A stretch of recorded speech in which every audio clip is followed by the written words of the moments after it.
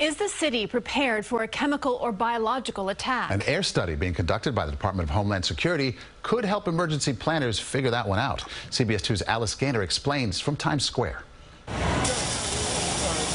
Non-toxic particles are being released into the air by scientists. It's a sugar-based molecule and it has a DNA tag that we can look for. It's a sugar that is found in food substances. Gases are being released too. It's instantly volatilized and the fan pushes the plume right up into the air. The gas is actually a perfluorocarbon tracer, which is completely safe. It's used a lot in airflow studies.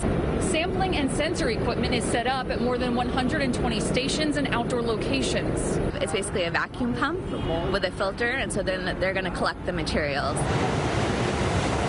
Scientists will measure how far the materials traveled and the concentration, allowing them to see aerosol materials that may be hazardous to the public, uh, how they are moving through a very complex urban environment.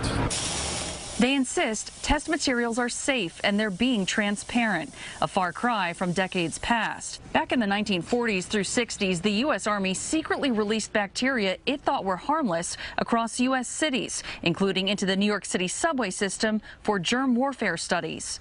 This week's airflow study is a follow-up to previous testing and required years of planning and rigorous approval, not just from the feds, but also the MTA, NYPD, Port Authority, and health departments of both New York and New Jersey, where they will also collect samples. If people are getting on path and going home at night, are they carrying, are the trains carrying material into New Jersey? They say the equipment is clearly marked and it won't affect or change your commute, just hopefully better prepare officials and help refine airflow. In Times Square, Alice Gainer, CBS 2 News. And the last time they did this kind of testing on a smaller scale was back in 2016. And as a result, there were significant changes in terms of emergency response protocols.